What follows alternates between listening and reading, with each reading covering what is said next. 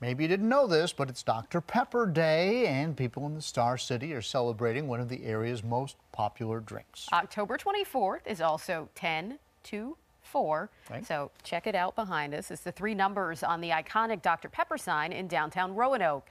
It was also the soft drink company's classic slogan, drink a bite to eat at 10, 2, and 4. Never even knew that. There you go. To celebrate, free t-shirts, drinks, and other goodies were given out to people in Market Square this afternoon.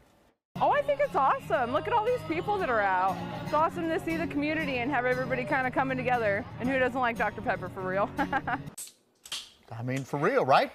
The original Dr. Charles T. Pepper opened Dr. Pepper's drugstore in Rural Retreat in the late 1800s. And then in 1936, Virginia's first Dr. Pepper bottling plant opened where? In Roanoke.